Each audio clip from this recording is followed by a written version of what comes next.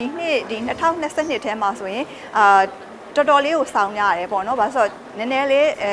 စောင်းဖို့အတွက်ပေါ့နော်အခွင့်အရေးတွေပြန်ရခဲ့တယ်။နောက်တစ်နှစ်မှလည်းသူတို့စောင်းဖို့အတွက်အခုဆိုရင်ထပ်ပြီးတော့တင်ထားကြတယ်ပေါ့နော်။ဟုတ်မင်္ဂလာပါရှင်ညီမအတင်စာမျက်မှော်မှာဒီအာထရီစာလို့လည်းခေါ်ပါတယ်ချက်ချင်း Hotel Royal လေးရန်ကုန်ရဲ့ Marketing Communication Director ပါရှင်။အာဒီနေ့ပွဲလေးကတော့ Love Chatrin Prestige wedding fair လေးဖြစ်ပါတယ်ဒီနေ့ပွဲလေးကိုဒီ Chatrin Hotel နဲ့ Prestige Event တို့ကပေါင်းပြီးတော့ organize လုပ်ထားတာဖြစ်ပါတယ်ရှင်ဒီအာ Chatrin Prestige wedding fair မှာဆိုရင်ပေါ့နော်ဒီ wedding ပေါ့ဒီလာမယ့်ရာသီမှာမင်္ဂလာဆောင်မဲ့မင်္ဂလာမောင်နှံတွေအတွက်အဲအကောင်းဆုံးဝန်ဆောင်မှုတွေကိုပေးနေတဲ့ Chatrin Hotel နဲ့အတူ wedding outlet တွေပေါ့နော် planner တွေအေးဝစ်စုံတွေဓာတ်ပုံတွေစားတယ်ပေါ့နော် wedding နဲ့သက်ဆိုင်တဲ့မင်္ဂလာပွဲနဲ့သက်ဆိုင်တဲ့အဲဆိုင်ကန်းပေါင်း30ကျော်ကဒီနေ့ပါဝင်ပြသပြီးတော့ရောင်းချပြီးတော့အထူးစင်းနှုန်းတွေနဲ့ရောင်းချပြီးတော့ promotion တွေလုပ်ပေးနေပါတယ်။နောက်ပြီးတော့ညနေပိုင်းမှာလည်းဒီ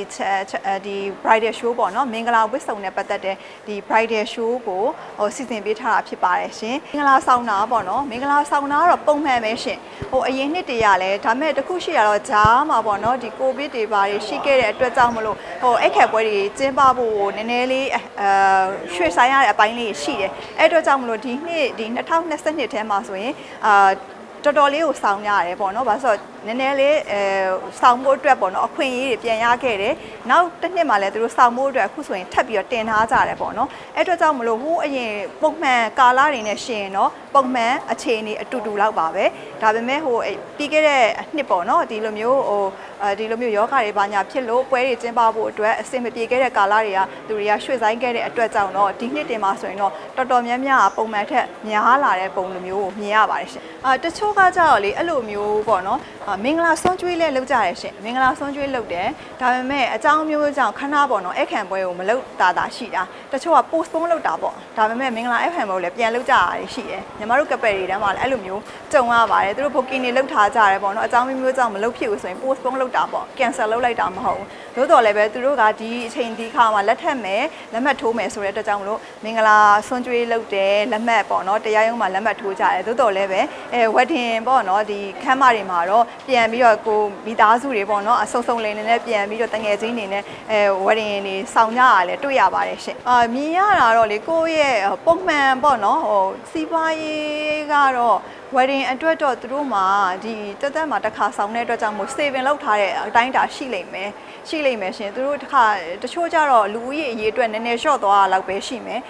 ဒီမင်္ဂလာပွဲဆိုတာကတော့လုပ်ရတဲ့လိုမျိုးပေါ့နော် must do လိုမျိုးအဲဆောင်ရတဲ့အတွက်ကြောင့်မလို့တော့မင်္ဂလာပွဲတွေကတော့ဆက်ပြီးရှိနေတယ်အခုလည်းရှိနေတယ်ပေါ့နော်ဒါမဲ့ဟို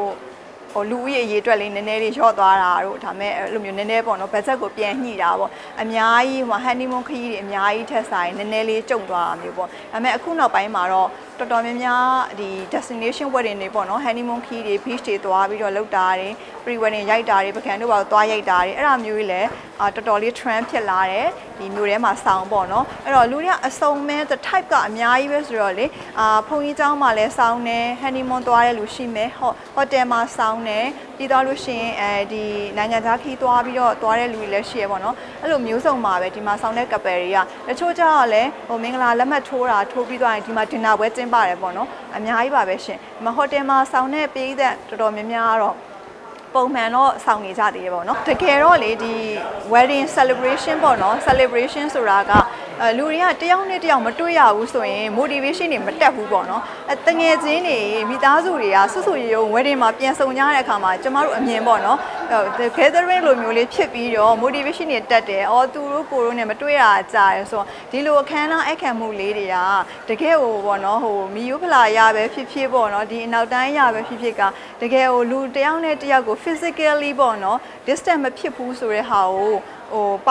ပို့ပြီးတော့ဟိုခံစားရစေရလို့ထင်တယ်နောက်ပြီးတော့တယောက်နဲ့တယောက်ချစ်ချစ်ချစ်လို့ပေါ့နော်ပေါင်းဖက်ကြတဲ့ပွဲလေးကို celebrate လာလုပ်ပေးတဲ့အတွက်ကြောင့်မလဲလာရောက်တဲ့သူတွေက appreciate ဖြစ်ကြတယ်ပေါ့နော်ဒါကို against သိပြီးတော့အော်ဒီလို celebration မျိုးကိုတော့သိပြီးတော့မလုပ်ကြဘူးဘာကြောင့်လဲဆိုတော့ဒီလူမှုရေးအရာဒါကျမတို့ရဲ့အဲဒီမျိုးဆက်ကိုထိန်းသိမ်းရတာရှိတယ်နောက်ပြီးတော့ကျမတို့ချစ်ချင်းမြတ်တာတွေပေါင်းစည်းရတာရှိတယ်ပေါ့နော်ဒီအတွက်ကြောင့်မလို့ဒီအခမ်းမင်္ဂလာအခမ်းပွဲလေးတွေကိုတော့ဟောလုပ်နေကြကြတယ်လုပ်နေကြခြင်းအပြင်လည်းကျမတို့အချင်းချင်းပေါ့နော် physically တွေ့ပြီးတော့ပေါ့နော်အာခင်မင်မှုတွေချစ်ခင်မှုတွေတိုးပွားရတယ်လို့ကျမအမြင်ကတော့ထင်ပါတယ်ရှင်ဟုတ်